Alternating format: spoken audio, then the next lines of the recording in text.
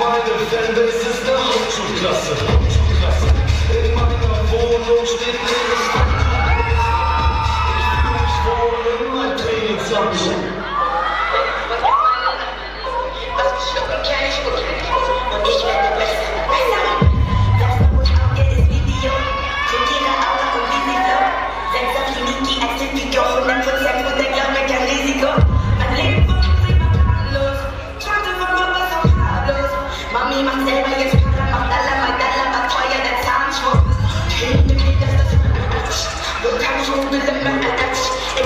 Thank you.